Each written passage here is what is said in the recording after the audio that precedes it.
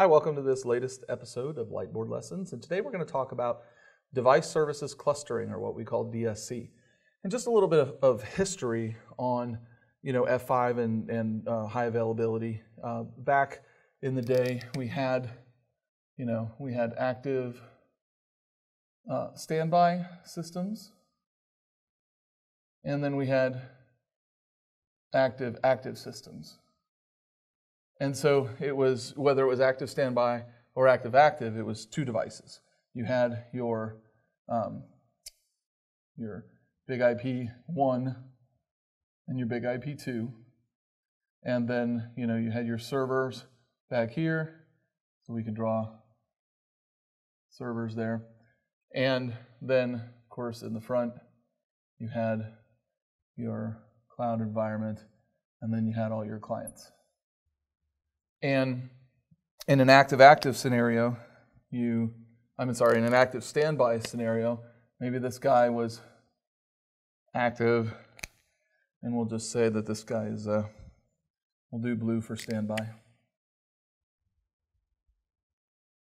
And in this scenario, um, you know, all of your traffic is going to come to your active box. If there's a failure there, say we, we kill this guy, um, then all of your traffic is going to fall over to the standby. You know, that's, that's pretty basic stuff. The, uh, the change then, if you wanted to have an active-active system, is that you would activate some of the traffic to flow to unit 2 and some of the traffic to flow to unit 1. And so, you know, if there was a failure here, the active traffic would join the active traffic on the other box. Some of the pros of the active-active is that you know, you're always utilizing your hardware, so you're not in a scenario where you know this is good because all of your traffic is there, uh, and then you fail over and you realize, oh, well, this guy was standby, but he wasn't really as healthy as we thought, or we didn't sync over configuration, and so things didn't work quite right.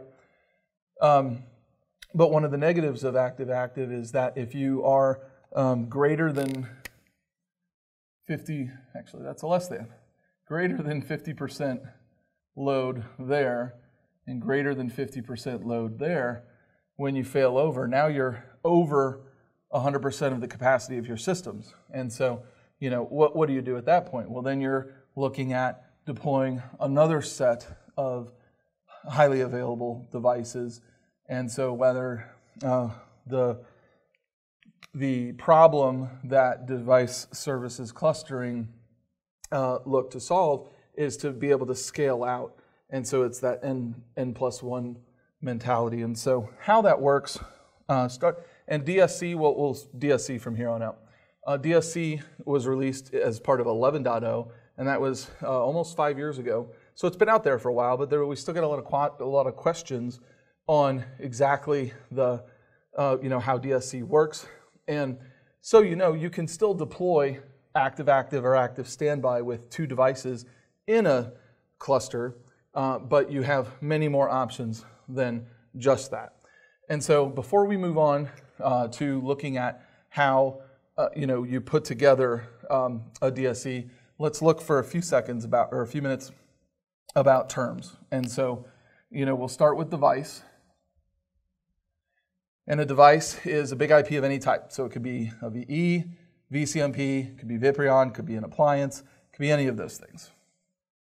And you can cluster any of those things together. Um, whereas in uh, the past, you, you had to have like hardware. If you were going to put an HA group together, uh, this and this had to be, um, it had to be identical. And so then we have the device group, which is a group of devices uh, that have established a trust relationship with each other. And so um, you have, uh, we'll say, trust here. And so when they've established trust, what we're really saying is they've exchanged certs. And so, you know, an FQDN is required on your big IPs. You can't just call them big IP 1, 2, 3, 4. You actually have to create a, an FQDN um, and then do the cert exchange. Once they've exchanged certs, they can communicate um, across channels with those credentials. They've built a trust group. And then we have sync groups. In sync groups, there's two types. There is a sync-only group, and then there's the sync fail, oh, I'm sorry, fail over group. Okay? Sync only is just for configuration. Sync failover is where you're actually going to be incorporating uh, HA into that. So uh, this is config here, and then this is config plus HA. All right? And then, so if we start kind of laying out what this looks like in a cluster, let's start with a group of big IPs here.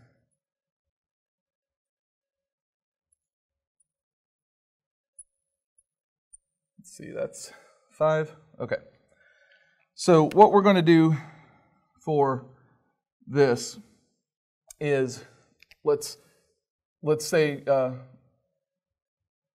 big IP one, two, three, four, five.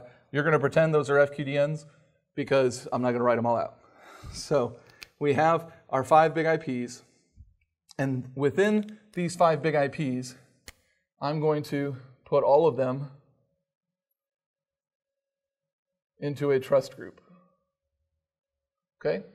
So all five of these devices trust each other so they can exchange information with each other. And then I'm going to create in that trust group, now I'm going to create a traffic group. I'm sorry, I'm going to do a sync group. We'll do traffic groups here in a minute. So we're going to call this uh, device group uh, and this is a sync only one. Okay?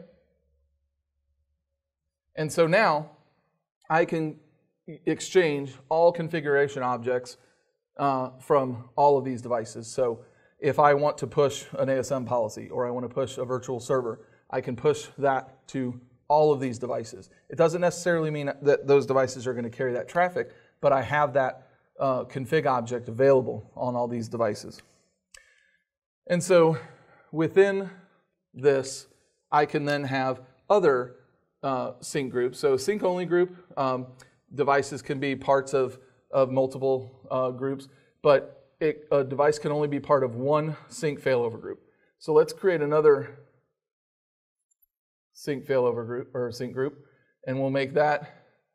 Um, see, this is let's call this device group one. We'll call this device group two, and then this one is sync failover. And then we'll create another one. Let's use another color. Uh, running out of colors. Let's do orange. And then we'll create these big IPs as part of DG3, and this one's also sync failover. Okay? So within the context of a traffic group, we can then say on these three big IPs, let's say in within device group two. So this is sync failover uh, device group. And then I have, say, three virtual servers. And I have um, VIP 1, VIP 2, and VIP 3. And those three, if I put them as part of a single traffic group called traffic group 1, then because a traffic group can only be active on a single device, that means that, let's say, I'm active here. Well, that means then these two, for this traffic group, are carrying no traffic. So for this one, I'm going to be more in a standby, but in device services clustering, it's called um, next active. Okay? And so, should this fail, then because this one has been decided to be the next active, it will become active. And if this one's still down, then this will become the next active, and so on. And there are different uh, uh, algorithms to determine whether it's more round robin or if you're going to use more intelligence and how these are all set up. That's out of the scope of trying to get all of that into this video, but, uh, but there are options for you on that front. But in this scenario, we have three in the device group, but now we only have a single um, big IP doing any work for this traffic group. So what we can do is instead of putting all of these together, we can say, okay, well, I'm going to put VIP1 in traffic group 1. I'm going to put VIP2 in traffic group 2. And I'm going to do VIP3 in traffic group 3. And now, because I have three individual traffic groups, and a traffic group can only be active on a single device, then I can be active there on traffic group 1, active there on traffic group 2, and active there on traffic group 3. And so each one of these, so we'll be, say traffic group 1 is active there, but then we're going to be next active there, and this one's going to be next active there, and then this one is going to be next active there. And so you can see that you can get very, very complex with all of your different configurations with your traffic groups. And just to clarify that you know, your device groups are about devices and configuration and HA settings. Your traffic groups are actually determining where your traffic goes. And so you can see um, with uh, uh, TMSH uh, show CM status, that will show you the configuration of all of your, uh, your different uh, groups and, and where uh, your active uh, scenarios are. So hopefully this has been helpful. Uh, we'll, I'll be doing another of these videos with some of the enhancements to the actual load balancing characteristics of traffic groups uh, that is introduced in version 13 that came out um, just recently. And so, you know, we'll see you out there in the community. Thanks a lot.